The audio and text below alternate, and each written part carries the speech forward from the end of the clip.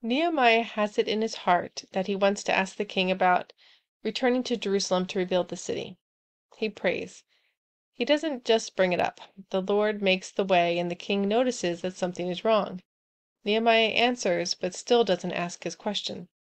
The Lord helps him out further. The king realizes Nehemiah wants something and asks what his request is.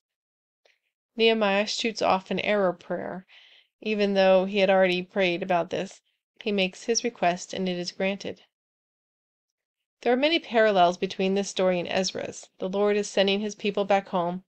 He will do it here and there using different people, but one parallel is that Ezra and Nehemiah were both people who cried over their nation's sins and wept for how they had forsaken the Lord and all they had lost, and fasted and prayed and sought the Lord. They both experienced the Lord touching the heart of a king one in authority over them, to make it possible. They both gave the testimony that the Lord's good hand was on them, giving them favor. We call that grace. God's grace is evident in all areas of our lives. He gives us all we need and abundantly more. Another parallel with Ezra is being accused of rebellion against the king. Nehemiah is bold in speech, but starts out fearful in action.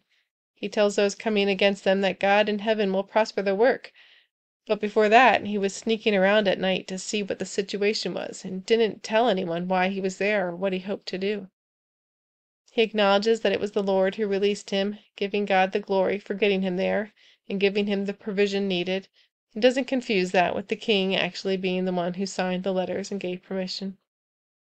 The leaders, already in Jerusalem, believe the Lord has ordained Nehemiah's mission, and they agree to come together and rebuild the city.